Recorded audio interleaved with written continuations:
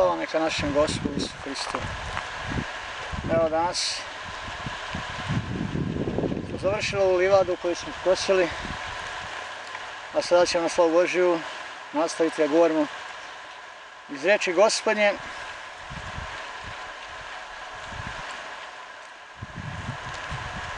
Dakle, službe po zlajačkim nazivom, crkva za svoje mjesto u reči, govorit ćemo iz 10. glavi Evanđelja po Luci. 16. red. 10. glava Evanđelja po Luci, 16. red na slavu Božiju, čitamo. Ko vas sluša, mene sluša. I ko se vas odriče, mene se odriče. A ko se mene odriče, odriče se onoga koji je mene poslao. Vratit će se pak 70 s radosti goreći gospodi, djavol nam se po kraju ime tvoje.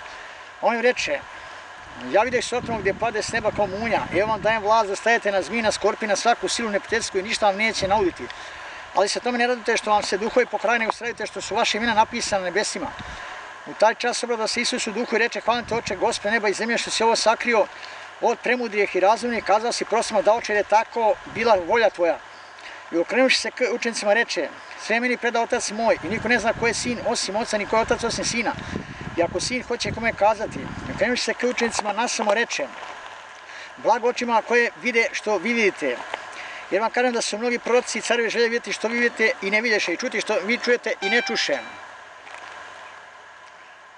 I gle, ustade jedan zakonik i ukušajući ga reče uštaju šta činite da dobijem život tječe. On mu reče šta je napisano u zakonu kako čitaš. On govoreći reče ljubi gospod Boga svega sinje srcem svojim svom dušom, svojom svom snagom, svojom svom misli svojom. I bliži ga svega kao samoga sebe. Reče mu pak pravo si odgovorio to čini bit će živ. Toliko znači gospod. Evo videli smo ovde da gospod govori nešto što je jako važno za nas. Danas i mi ćemo ovu propoved nasloviti zidanje crkve Isa Hrista. Zidanje crkve ili temelj crkve Isa Hrista. Vidjet ćemo ovde šta je gospod rekao. Mi ćemo pokušati da danas prikažemo jednu od najlepših građevina koje je uopšte ikada zidana na licu zemlje, na licu ove planete koja se zove Zemlja.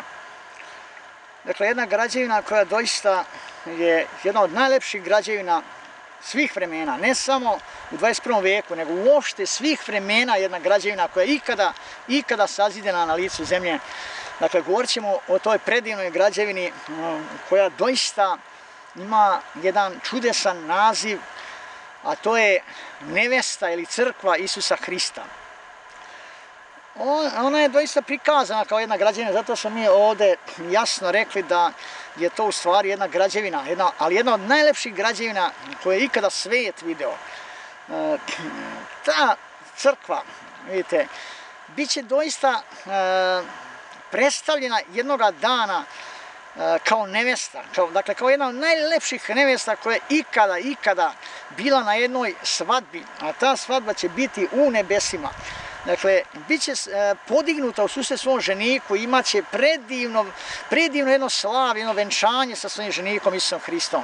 Taj dan se normalno približava i mi znamo da je on jako blizu. I sada, vidite, Gospod upravo želi da nam prikaže i tu predivnu građevinu kroz reč svoju, a i tu predivnu svadbu koja će biti na nebesima, kao i jedno mesto E, gdje će ona e, obitovati u svu večnost. To mjesto je zlatni grad Jerusalim, dakle, gospod Bog je za svoju nevestu spremio jedan od najvećih i najlepših dvoraca koji uopšte ljudska mašta može uopšte zamisliti, dragi moji.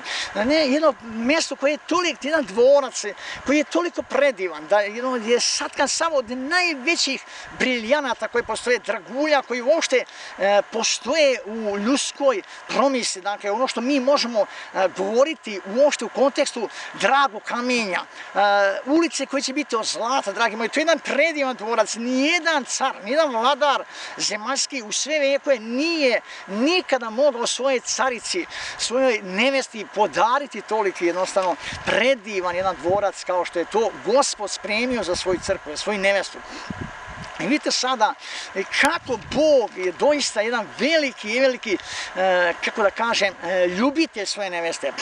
Kada on za nju takav jedan dvorac spremio, dakle, samo zlato, dragulja, dragi moji, to, je, to je zlatni grad Jerusalim koji će biti direktno spušten sa samih nebesa, sa trećeg neba, dragi moji, sa prestolja Božije, dakle, tamo gdje je treće nebo, dragi moji, Gospod će spustiti se, vidite, u prisutnosti svoje biće tamo, dakle, neće biti, kada stvori novo nebo i novo zemlje, neće biti sunca, on će biti sunca, neće biti zvanično neke zgrade koja se zove crkva, ova crkva, nego će biti, kada crkve neće biti tamo, dakle, neće biti te vrste crkve, dragi moji, jedne, jednih velikih katedrala, znate, danas mnogo ljudi ulažu katedrale, neće biti takvi građani tamo. Uh, zabadava to, ljudi danas uzimaju srce, tamo neće uopšte biti, ljudi će možda misliti danas da će naći neku svoju crkvu tamo, neku, možda bi neko zamišljao da neka predivna katedrala bi svakako trebala biti u tamo podinuta u zlatni grad, jer sam Bog neće takve stvari, dragi moji, tamo uopšte postavljati, on će, on će biti taj, sami gospod je biti, kaže crkva, on će biti sunce, on će biti svetlost, neće biti sunce ovog sunca, dragi moji, tamo u tom gradu, dakle, on će biti svetlost, on će biti sve, on će biti život, to je ono što mi danas čekamo, dragi moji, taj zlatni grad Jerusalim koja je spremljan kao jedan predivan dvorac od, njegu, od njenog ženika, od Isusa Hrista, dakle, nevjesta crkva treba da se raduje tom danu, taj dan se približio, dragi moji, i mi imamo veliku privilegiju da imamo šansu da budemo deo te neveste, da budemo na tako jednoj svadbenom veselju, da budemo na kraju šta baštinici i da dobijemo na, na, poklon šansu da živimo u takvom jednom predivnom mestu kao što je Zlatni grad Jerusalim. To je nešto predivno, dragi moji. To je nešto što doista je toliko blagosloveno, toliko divno, znate, da čovjek bi trebao svom snagom se da se nađe unutar takve jedne svadbe, da se nađe jednostavno ubrajan u nevestu Isusa Hrista, da bude deo te neveste, da bude deo te crkve. Pogledajte, i one, danas želimo da pokažemo kako